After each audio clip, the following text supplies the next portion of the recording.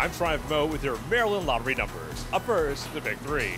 We have six, two, and zero. For up-to-date jackpot information, visit us at mdlottery.com. And now, let's play pick four. Our numbers are, we have eight, six, two, and